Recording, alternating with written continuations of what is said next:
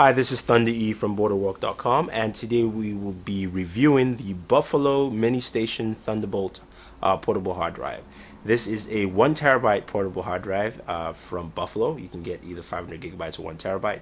Retails for about 199. Uh, cheapest I've seen is off Amazon. And this hard drive has two uh, connection points that you can use either USB 3.0 or Thunderbolts. Now, of course, USB 3.0 does come with the, uh, you can see the cables here, it comes with, also has the blue indicator, and um, maximum speeds for USB 3.0 are 5 gigabits per second. And Thunderbolt, which is proprietary um, uh, port format that Apple has, as well as um, some Intel boards, is has speeds of up to 10 gigabits per second. Now the drive itself is, like I said, is a one terabyte hard drive. Uh, it's got a nice flush finish. It also has some weight to it. It's not as, as light as you would expect with most portable hard drives today. But uh, let's go ahead and uh, test this out and see how Thunderbolt works with this uh, drive from Buffalo. So we're going to use our Thunderbolt cable. Let's go ahead and open that up. Connect it so you can see the lightning there. Connect it directly to hard drive. Bring our MacBook Air closer. And we will connect it to our MacBook Air. You can see the Thunderbolt connector. Right there. Let's bring this up.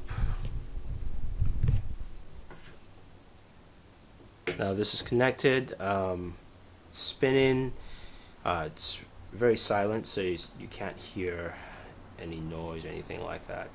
Of course this is our drive here so you can see we have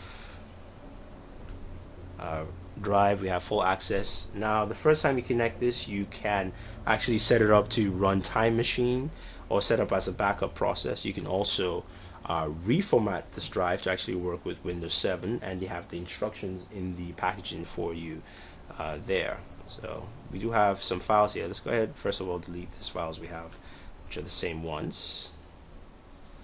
Now we can quickly do a transfer off and see how well this works.